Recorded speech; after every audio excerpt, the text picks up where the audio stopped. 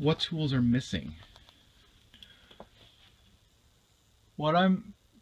what I think is missing for land managers is combining these tools in a way that gives, in a way, has a, pa a package where we have something like FileMaker or some other foundation, maybe the Ushahidi, but some kind of a data collection uh,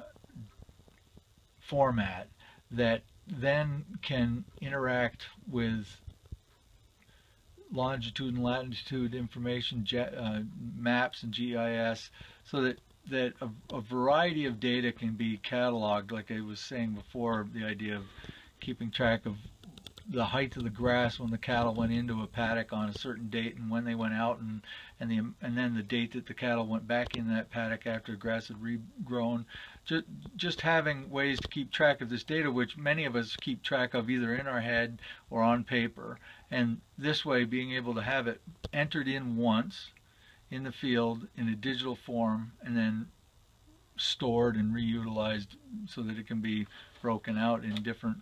reporting mechanisms later on in terms of using it for planning or for budgeting. I think that that what I was what I kind of dream of is a tool that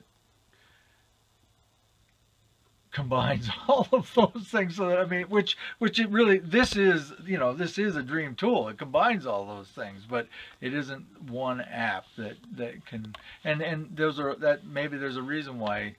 they aren't all together. But that's kind of where I'm thinking of is that that you could be in a field, measure